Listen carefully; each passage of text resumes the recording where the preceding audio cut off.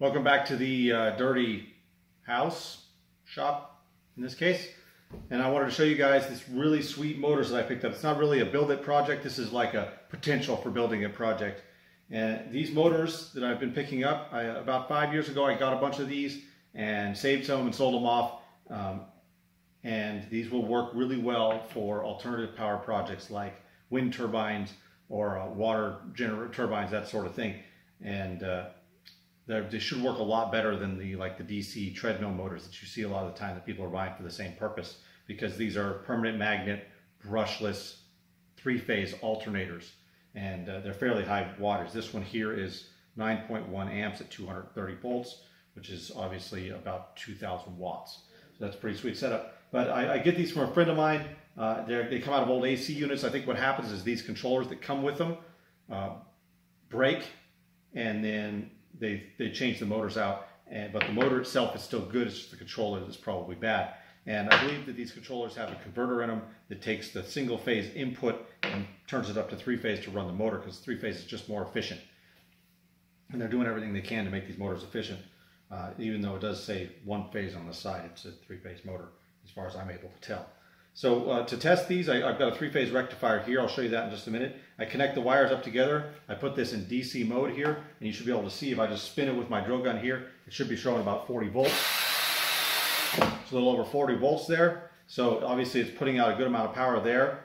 Um, and then I test each leg individually as well across the motor here by putting this in AC voltage now because it's not being rectified anymore and I test each pair of these legs basically the same way.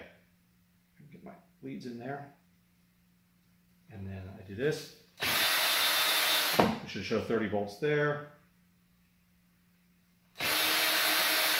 30 volts there, and then 30 volts on the last leg here.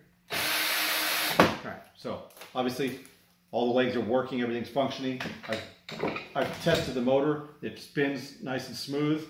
Um, you can feel that it's got a magnet in there, of course. Um, the bearings are good. There's not there's occasional little spots of rust on the motors, but they're pretty good.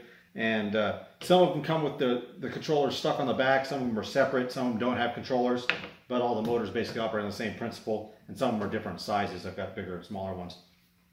But uh, they should work really well for those, those alternative power projects. This is the uh, three-phase rectifier. I just picked this one up off Amazon. Um, I haven't had a chance to test these for the long term, so I'm not sure about durability, but it doesn't look like there's anything here that could really break. Uh, they're nice, look like they're nicely sealed with an epoxy here. But basically, you take your three AC legs out of the motor, you connect them to those three leads, and then you get DC power out of these. You get a positive and a negative lead on that. And so I'll have a link for this in my description below, and hopefully one here on the screen over my left shoulder. So uh, hope the, uh, hopefully some of you guys will pick these motors up for your uh, alternative power projects and uh, build some pretty sweet stuff out of them. I just don't like to see them getting uh, going bad uh, or getting thrown away, I should say.